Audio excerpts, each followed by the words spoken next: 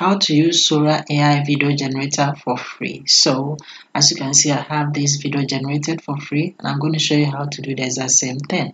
On your phone, simply locate the Play Store app and then select it. And then come here to the search and then tap on it. And then over here where we have the search app, come and then search for Microsoft Bing. Okay, just like this one and then select it. So it will come the app will come tap it and then over here all that you have to do is simply come and then install the microsoft bing search okay? I've already installed it so after installing it simply come and then click on the open to open it okay? So when you open it over here where we have the account icon come and tap on it and then you simply have to come and then tap to log in with a Microsoft account okay? And then over here where it says Microsoft account come and then tap on the sign in and then sign in with your hotmail okay?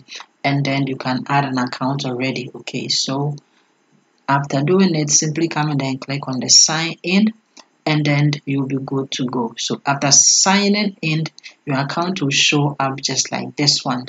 And then when you look at the bottom here, you see that you have the home and then all that. Come and then tap on this menu, okay? So when you tap on it, you will see all the apps pop up just like this one, okay? We have the image generator. Under it, you see that we have the video creator. Okay this one come and then tap on it. That is where you get the Sora for free. And then over here come and then make sure that the video one is selected. And then you can simply come and then write your prompt. Okay so a prompt will be just like this. Create a video of a lion in the jungle ready for war. And then you come and then click on the create. Okay so you have 10 fast creations. Okay i have already used two. And then it is 9 by 16 and then 5 seconds and fast okay? And then after using it you can use your Microsoft reward points to also create fast videos. And then after that you have unlimited standard videos as well okay? So from my creation you see the videos that I have been able to create with the Microsoft Sora okay? So these are all the videos that I have created. So if you want to create a new video all that you have to do is simply go to the top and then come here to where we have explore ideas okay and then come and then tap on it.